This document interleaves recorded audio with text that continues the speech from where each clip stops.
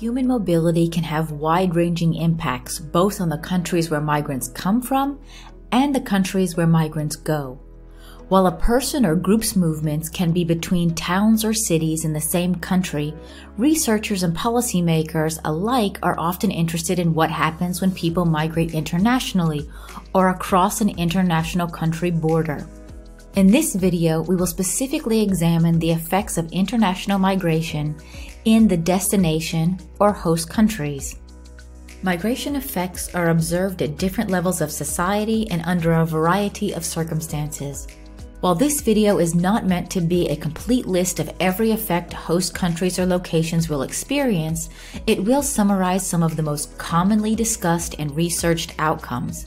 In general, there are effects that individual migrants or groups of migrants experience themselves in the destination country. There are also effects of migration on the communities where migrants live.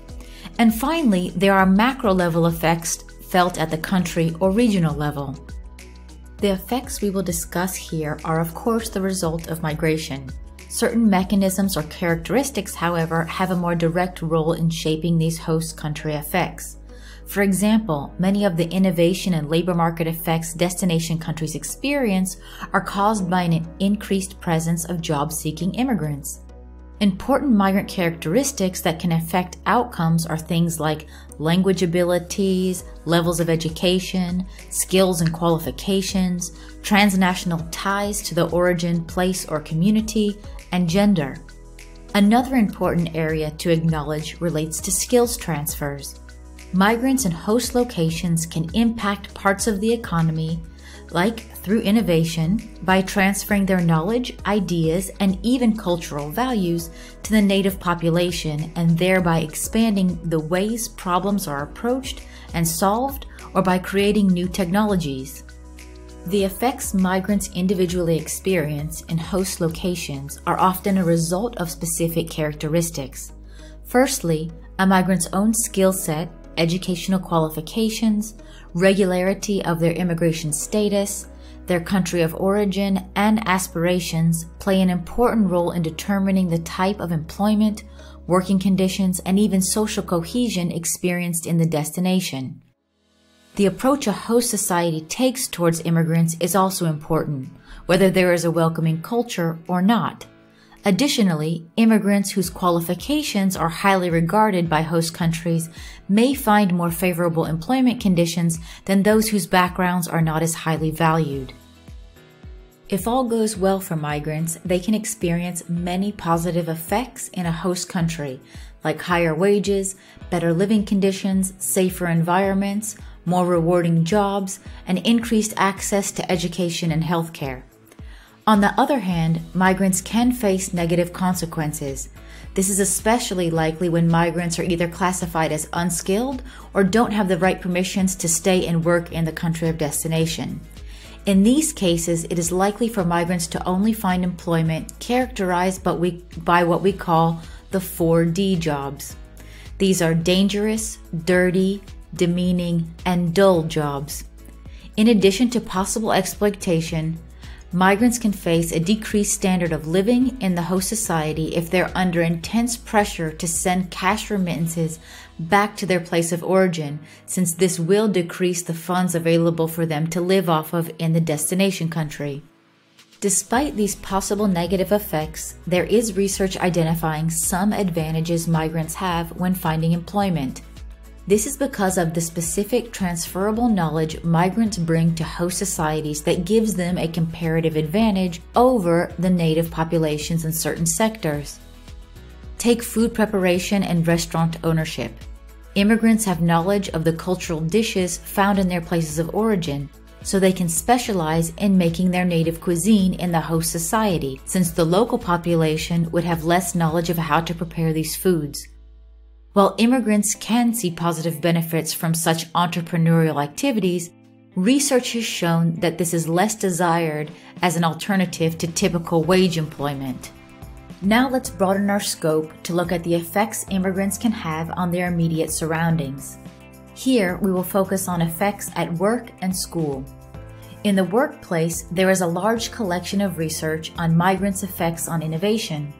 While innovation is a broad term describing how individuals, teams, and societies develop new ideas, devices, or methods to solve problems, we commonly see it measured as the number of patents a company files. Immigrants can transfer their knowledge and use their outside perspective to challenge their local counterparts on how to think differently than how they would typically in a group of like minded natives. In fact, Studies in the United States show that skilled migrants, on average, have higher patenting rates compared to the native population. Similar mechanisms, including positive competition, have been shown to increase educational learning and performance in more diverse educational settings. Think of how universities often promote the international character of their classroom because they understand the value of students learning from each other who have different backgrounds. Now let's turn our attention to country level effects like wages and labor market indicators. A common concern is that extra labor supply that immigration generates will drive wages down since there may be more people competing for the same jobs. On one hand, immigrants themselves commonly face wage penalties, but the mechanisms causing this is less about inflows of job seekers and more about host country attitudes towards foreign qualifications. Foreign earned qualifications are often approached with skepticism by host country employers, who then often offer lower wages to employees who completed their training abroad.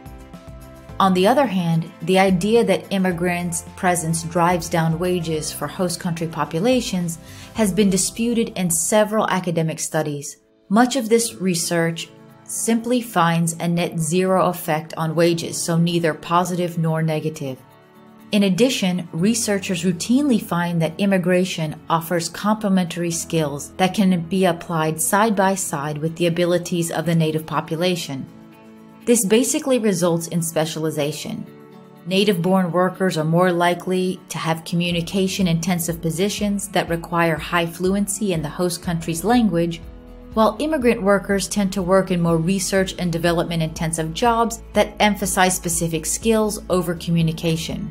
It often also results in immigrants working in the least skilled jobs where local populations do not want to work.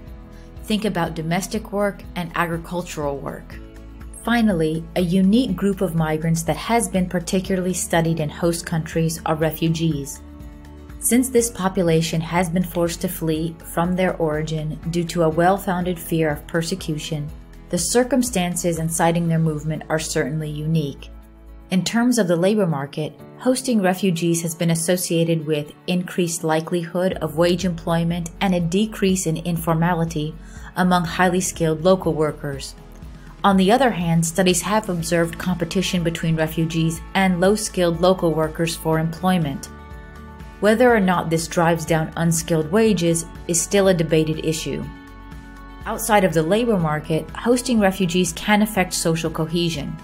While this is dependent on location and circumstances, evidence from countries like Rwanda and those in Northern Europe has not associated refugee hosting with a serious threat to social cohesion. Now, that's a brief introduction to the effects of migration in destination countries. While there are certainly more effects and examples, these are some of the most researched and discussed. Keep an eye out for future in depth videos where I will focus on specific effects one at a time.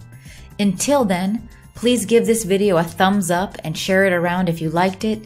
Don't forget to subscribe if you've not already and turn on the notifications so you never miss an update. See you next time.